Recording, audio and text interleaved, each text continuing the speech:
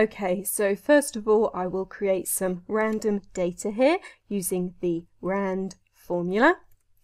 Then I will drag this down and this will give me random numbers between 0 and 1. Then I am going to fill in this range here with some helper columns using some formulas. So I want to separate out these values for values greater than 0.5 and less than 0.5, which is my boundary value. I'll do this using an if formula. So if this value is greater than 0.5, then press F4 to insert the dollar signs around that to make it an absolute cell reference. And if this is true, I'll show this value, and if it's false, the non-applicable error message. Then drag this down. And now I have only the values here which are greater than 0.5 and everything else becomes an error message. Also, as I am using the random formula here, the numbers will update anytime I change something in the worksheet.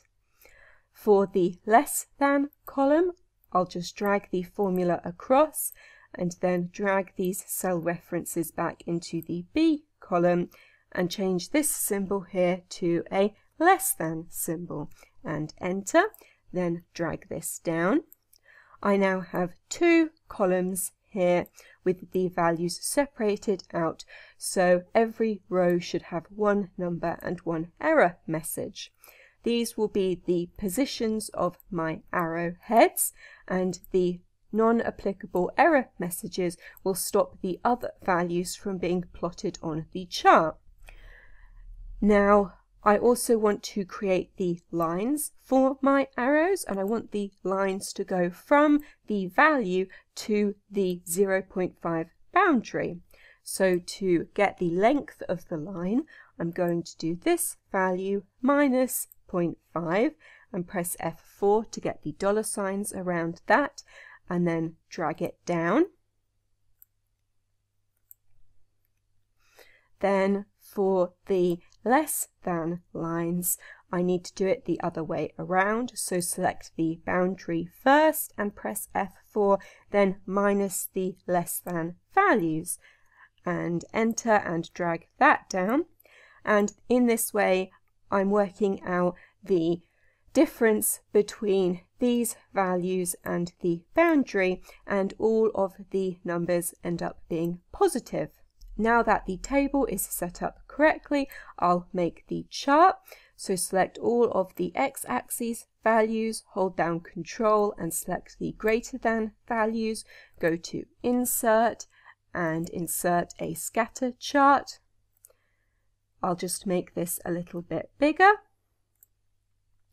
Then select the less than column, press Ctrl C to copy and then select the chart and press Ctrl V to paste. And now I have two sets of data in this chart. The blue dots are all of the higher values and the orange dots are all of the lower values. I will be using error bars to create the lines for my arrows. So I'll add in the error bars. We don't need the X error bars, so let's delete these. Then select the upper error bars and press Ctrl 1 to open up the formatting bar. For these values, we only need the minus lines and no cap and customize, then we only need the negative error values and that is going to be this column here and enter and OK. And now all of the blue dots have lines going from the blue dots down to 0.5. We'll do the same thing for the orange dots but they'll be in the plus direction this time. Still no cap and customize and this time we want only the positive error values and they'll be less than lines and OK. And this time we have lines going from the orange dots to the 0.5 boundary. Now we'll format these to make them look a bit more like arrows. So go to marker options and built in increase the size so they are much larger and change the type to a triangle. Then remove the border, add in a solid fill. I'm going to choose green and then select the error bars and also change these to green and then make the width four points. And now you can see we have what looks like upwards pointing green arrows. Now we want to do the same thing for the lower values, but for the marker options, there is no inbuilt option for a downwards pointing triangle. So we're going to have to make one. Go to Insert and Illustrations and Shapes and select the triangle under Basic Shapes. Then try and draw the triangle so it is about the same size as one of the green triangles. Then remove the line from this shape and change the solid fill to red. Then rotate the shape by flipping it vertically. And now we have the downwards pointing red triangle. Select it, press Ctrl C to copy, then select the orange dots and press Ctrl V to paste. And now the orange dots have changed and the series data is now represented by red downwards pointing triangles. We no longer need this shape here, so delete it. Then select the error bars here and we will format them to be red to match the arrowheads and also make them thicker. And now we have upwards and downwards pointing arrows.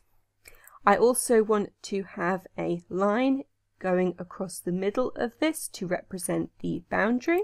So to create that, I am going to put another 0.5 here. Then in these two cells, we'll have where you want the line to start and end on the x-axis. As my data goes from 1 to 10, I'm going to choose 0 and 11. So the line is slightly longer than my data. Then select the chart and right click and select data. Then add. For the series name, I'll choose boundary. The x values will be these values here and the y values will be these values here. And as we have selected the same number twice for the y values, this will make it into a straight line. And OK, and OK again. Now we have these two grey dots here.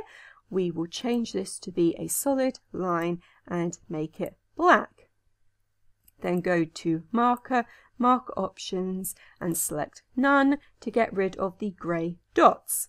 Then select the axes and fix the maximum axis value as 11 and then change the minimum to 0 so the line goes all the way across the chart.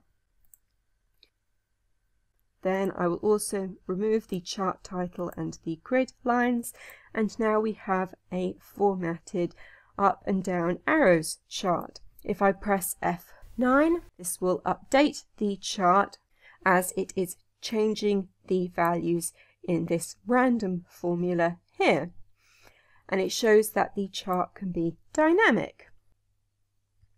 So in this video I have shown you how to make an up and down arrows chart in Excel and that is everything.